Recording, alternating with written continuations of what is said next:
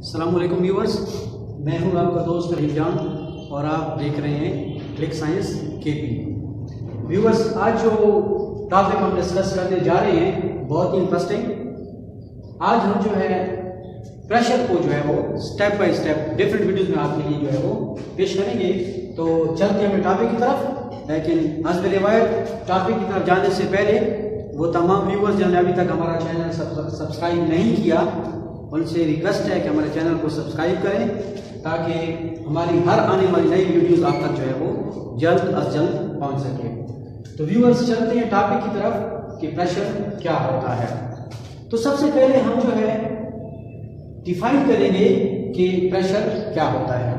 तो प्रेशर की जो डेफिनेशन है, ये टाइम की बचत के लिए हमने आपके लिए पहले से लिख दी है। इसको समझते हैं। Normal effect of force on unit area is called pressure normal effect of force का मतलब क्या होगा? कि वो फोर्स जो उमूदन किसी सरफेस के ऊपर क्या करे? एक्ट करे। और उसके लिए शर्त क्या है? कि सरफेस एरिया कितना चाहिए unit surface area unit surface area कितना होगा? एक ऐसा एरिया जिसकी लेंथ और विड्थ जो है वो वन वन मीटर हो।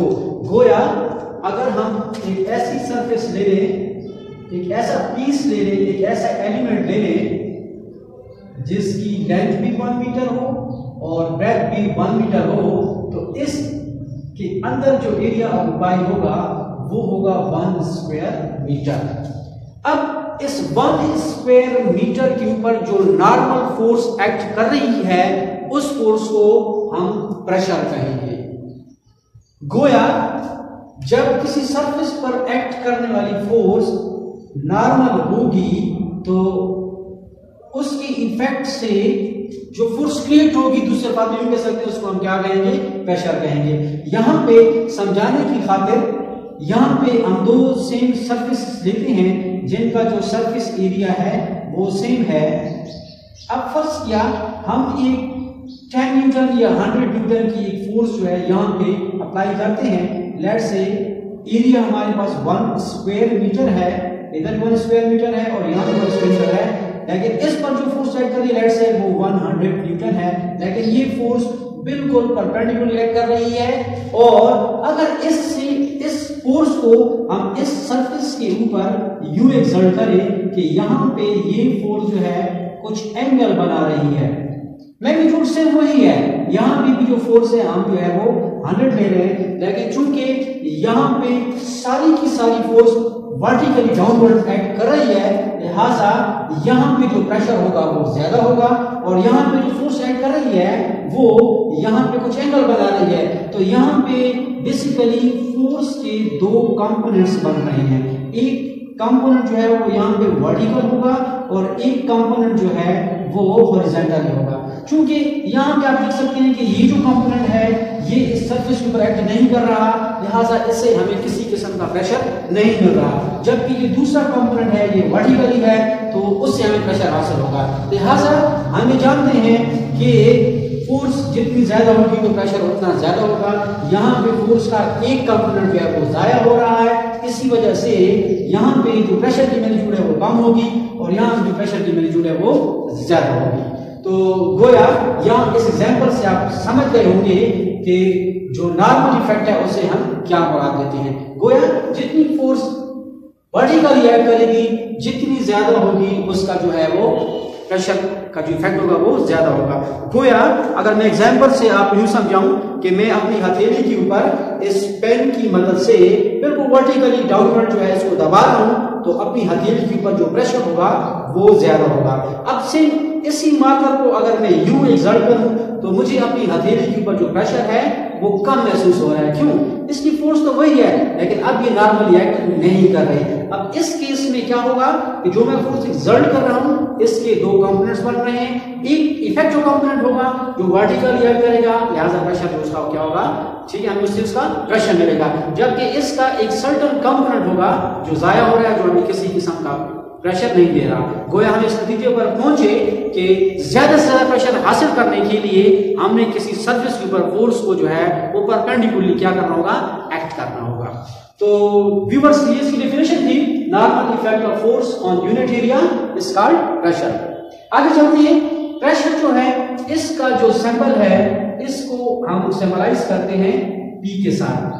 जबकि प्रेशर का जो यूनिट है बेसिकली इसका यूनिट जो है वो है पास्कल इसका यूनिट पास्कल है जो न्यूटन पर स्क्वायर मीटर के इक्वल है. तो हम कह सकते हैं कि जो प्रेशर का यूनिट है, वो न्यूटन पर स्क्वायर मीटर है या पास्कल है. दूसरी तरफ़ जो प्रेशर है, ये बुनियादी तौर पर हमारे पास एक स्केलर क्वांटिटी है. विद रिस्पेक्ट टू क्वांटिटी जो प्रेशर है वो एक स्केलर क्वांटिटी है। उम्मीद है आपको डिफिनेशन भी समझ आई होगी। आपने यूनिट एरिया को समझ लिया होगा और प्रेशर के बारे में जान लिया होगा कि प्रेशर कब कम होगा, कब ज़्यादा होगा। आगे चलते हैं कि हम प्रेशर के लिए इसकी मैथमेटिकल फॉर्म जो है वो कैसे डिराइव करेंगे। तो व्यूअर्स इसके लिए मैं यहाँ सपोज़ कर रहा हूँ।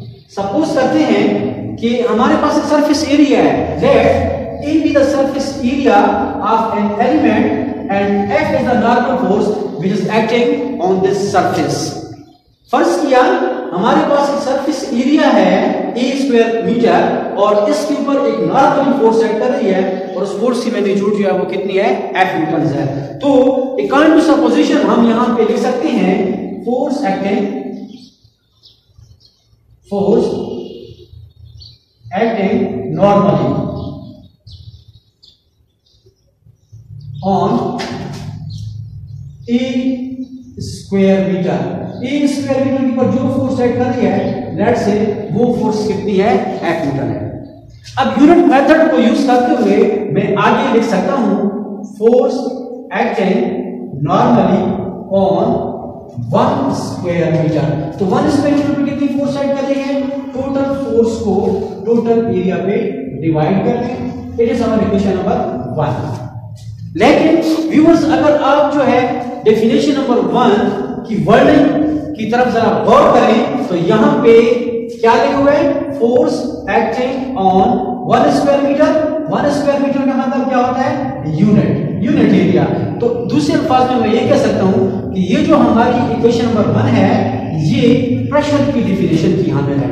लिहाजा, इस इक्वेशन नंबर वन को force acting on unit area मैं दूसरे अल्फाज में कह सकता हूँ कि force acting on unit area is equal to pressure इसी वजह से मैं इक्वेशन नंबर वन को यहाँ लिख सकता हूँ pressure is equal to F by A तो इस तरीके से नाजी हम जो है प्रेशर की इक्वेशन को जो है वो डिराइव करेंगे।